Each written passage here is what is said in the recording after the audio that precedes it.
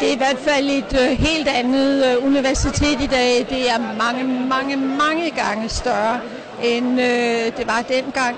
De øh, modtager rigtig mange øh, studerende og giver dermed øh, langt flere unge en øh, chance for at komme videre i livet. Det var meget, meget færre studerende dengang. Det var sjovt. Hvordan har det været for dig der at komme tilbage også til øh, jubilarfrokost? Det er først og fremmest sjovt, fordi jeg kan jo huske, hvordan det var dengang i øh, 1966, og Søren var lærer, og jeg var studerende, og et nyt liv øh, begyndte, og jeg læste øh, filosofikum i øvrigt sammen med en anden kendt person, nemlig Amdi Petersen, som øh, også var på, øh, på det hold. Og øh, der var jo sådan en øh, pionerånd øh, blandt os, der var de første ting, at der nu kom et universitet her, og alt det, vi regnede med, vi skulle. Har det stadigvæk dermed en, øh, en, en plads i dit, øh, dit hjerte, dit, dit gamle universitet? Ja, det har det helt bestemt. Nu har jeg jo været så heldig, at jeg også har fået lov at være minister for øh, universitetet, og der har jeg da haft øh, et, et lille kærlighedsforhold til universitetet. Men som minister skal man netop alligevel finde den der objektivitet frem. Kan man det? Du er også kun et menneske, som du siger, har jo også et hjerte for dit gamle universitet.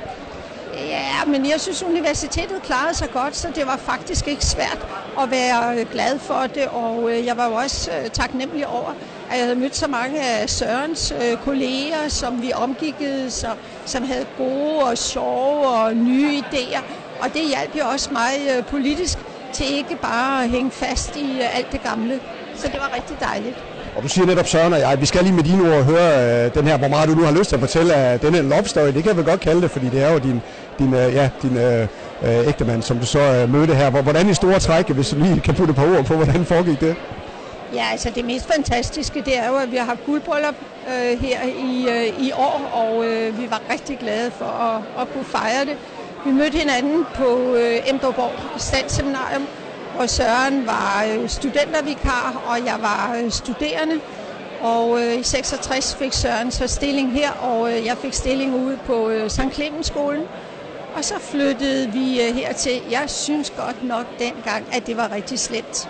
Jeg tænkte, at man kan da ikke leve uden for København og Odense, det var jo langt væk. Og så opdagede jeg, at det kunne man sagtens. Og noget andet, jeg opdagede, som jeg også fortæller københavnerne, det var, at fynboerne var meget sødere og meget flinkere end københavnerne. Men en utrolig historie på jer, så I er simpelthen I jubilar, altså I har simpelthen fejret guldbryllup samme år som, som, som skolen. Lige præcis, ja, det har vi. Det er dejligt. Og jeg skal lige afrundingsvis lige høre, og hvordan ser du så om det, at, at spå 50 år ud i fremtiden? Det er en lille smule svært, men, men så de, de kommende år for den her 50 års jubilar. Ja, jeg er ret sikker på, at jeg ikke vil være her om, øh, om 50 år. Øh, det er vist ikke nogen, der bliver så, øh, så gamle. Jeg synes, det var sjovt, at der var så mange, trods alt, der var med i 66, der har været der den dag i dag. Jeg tror, universitetet er inde i en øh, god gænge, og øh, jeg tror, der vil ske en, øh, en fortsat udvikling, og jeg kan jo se, øh, at der bliver bygget, og øh, der bliver taget nye initiativer, og det skal der også omkring et øh, universitet.